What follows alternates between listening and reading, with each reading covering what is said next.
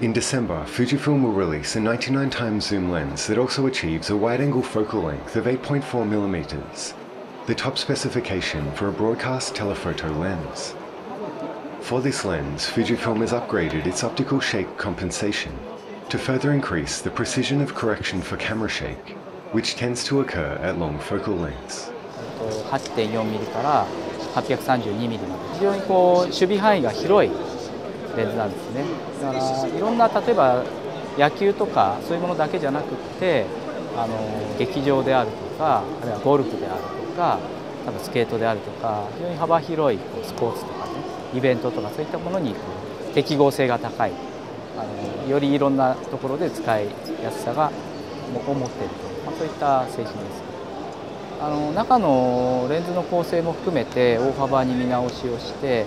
防振の触れる範囲ですね。それを拡大した。したがって大きな揺れに対しても防振がより効きやすくなった。あと周波数の高いような細かい揺れに対してもそれを取った。ピリピリ感がなくなったとかですね。そういった形で防振も非常にこう使いやすくなった。This lens also comes with a 16-bit encoder for high-resolution output of lens data such as zoom and focus settings. あの今スポーツ中継とかいったものは大体バーチャルで使うシーンがすごく多いんですねカメラ振ったりズームアップしたりした時も一緒にこうバーチャル上の図柄がズームアップ、まあ、そういったものに使うそのデータをですねレンズから排出送出していると。Combining a 99 times zoom with high optical performance, including high resolution, permeability, and color reproduction, has been achieved by using cutting edge optical simulation technology.